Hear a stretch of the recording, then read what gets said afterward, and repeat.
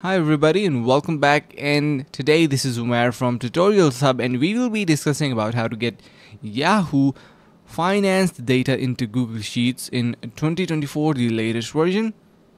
So what you're going to do is simply get your extension, click on the extensions and then select apps script.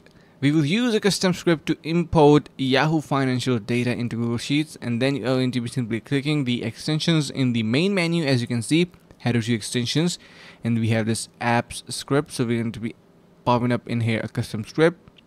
A new tab will appear where app scripts will be loaded. So you are going to be simply copying this particular script into that section as you can see in here. Then probably we can see we have that in here.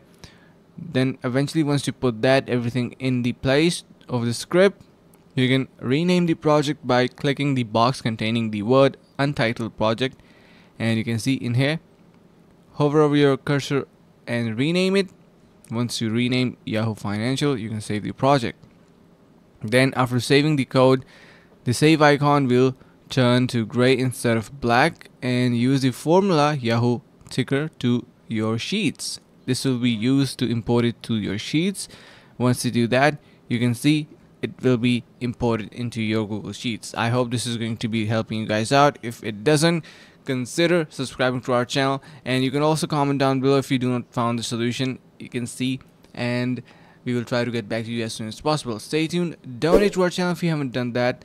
It will be highly appreciated. Stay tuned and see you guys in the next video.